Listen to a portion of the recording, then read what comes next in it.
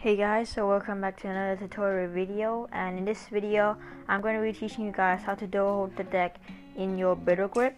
So here's how the Biddle Grip looks like.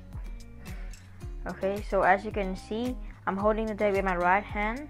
Okay, so my middle ring and pinky is contacting the front edge of the deck. My pinky I can remove it if I want but I'm just supporting it so you know I don't drop the cards my first finger, my index finger is over here, uh, curl at the top of the deck, and my thumb is on the back edge of the deck, okay? The Biddle grip is uh, mainly used for swing cuts, and I taught this video in the past, and I'll leave the link in the description box down below, and and um, the swivel cut as well, so it starts with the Biddle grip, okay? So um, and that's how the Biddle grip looks like and yeah so i'll see you guys in my next video. Peace